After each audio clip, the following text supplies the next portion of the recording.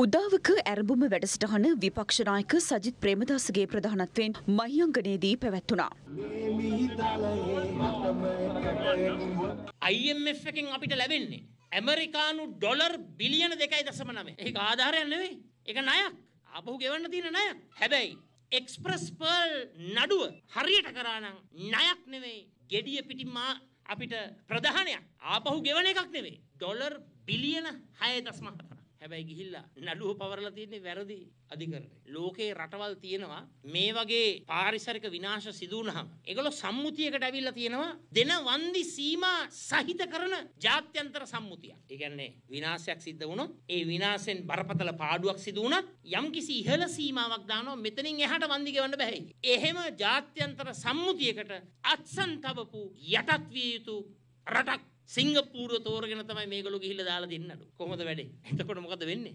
සිංගප්පූරුවම අස්සම් කරලා තියෙනවා සම්මුතියකට මෙතනින් එහාට ඉහළ වන්දියකට ලබා දෙන්න අපිට හැකියාවක් නැහැ. ඇයි? ජාත්‍යන්තර සම්මුතියකට අත්සන් තබලා තිබෙන නිසා. ඒතර අපේ තර්කය තමයි මේ රටේ ඒ නඩුව පැවරුවන මේක තමයි අපිට වාසිදායකම භූමිය. අපේ රට අස්සම් කළේ නැහැ සීමාවකට. වාසිදායක භූමියේ නඩුව දාන්නේ නැතුව ගිහිල්ලා දැම්මා සීමා වෙන ජාත්‍යන්තර ගිවිසුමකට අස්සන් තබා තිබෙන සිංගප්පූරු.